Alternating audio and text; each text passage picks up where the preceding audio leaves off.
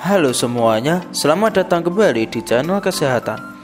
Pada kesempatan kali ini, channel kesehatan akan membahas tentang empat bahaya gigi berlubang pada anak.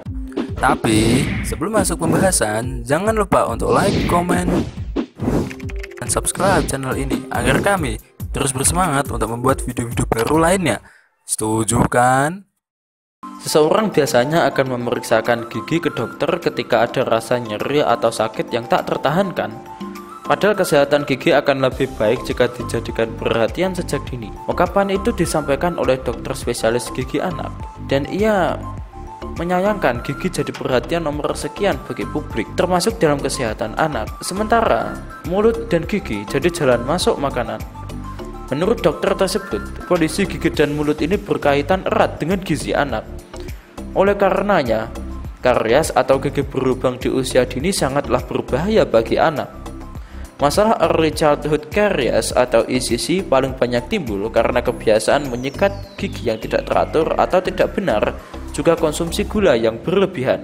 Ada setidaknya empat bahaya yang mengintai anak jika ICC tidak dicegah atau diatasi. Satu, gigi tetap akan tumbuh semrawut. Gigi susu yang berlubang tak seperti gigi tetap. Gigi susu akan hilang dan mengakibatkan rahang anak mengecil. Rahang untuk mengecil ini membuat gigi tetap yang berada di bawah gigi susu tidak dapat tempat untuk tumbuh. Gigi dewasa tumbuh di mana? Dia tak mau tumbuh di tempatnya. Bisa saja tumbuh ke samping, ke depan, belakang, susunan gigi jadi berantakan. 2. Kerusakan pada gigi tetap. Pada gigi susu yang berlubang, lama-kelamaan ia akan membusuk dan membuat gigi tetap di bawahnya rusak. Biasanya akan timbul bisul pada gigi yang berlubang.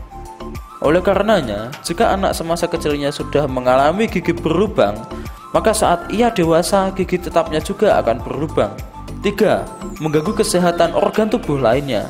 Percaya atau tidak, gigi yang tidak sehat dapat membawa pengaruh pada kondisi gangguan kesehatan tubuh secara keseluruhan. Gangguan kesehatan gigi dan mulut bisa menjalar ke gangguan kesehatan lain.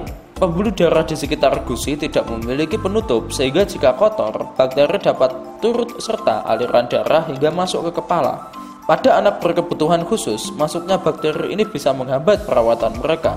4. Anak kekurangan nutrisi saat anak bermasalah dengan gigi, ia merasa kesakitan dan cenderung tidak mau mengunyah, bahkan makan. Dan hal ini pun tentu menyebabkan anak kekurangan nutrisi sehingga berat badannya menurun. Bahkan ada pula anak yang merasa kesakitan dan hanya mau makan makanan yang manis saja. Padahal ini sama saja menambah parah kondisi gigi. Gigi menentukan kualitas hidup anak secara keseluruhan. Dianjurkan, sebaiknya orang tua membiasakan anak membersihkan gigi saat pagi dan sebelum tidur. Menyikat gigi dapat dimulai dari usia 6 bulan. Sebelum gigi anak tumbuh pun, ibu dapat membersihkan gusi anak dengan jarinya atau kain waslap yang lembut. Ibu juga dapat membasuh mulut anak dengan ASI. Hal ini dapat membuat anak terbiasa dengan benda yang masuk untuk membersihkan mulutnya. Sekian informasi tentang empat bahaya gigi berlubang pada anak. Semoga informasi ini bermanfaat dan menambah pengetahuan Anda. See you on the next video.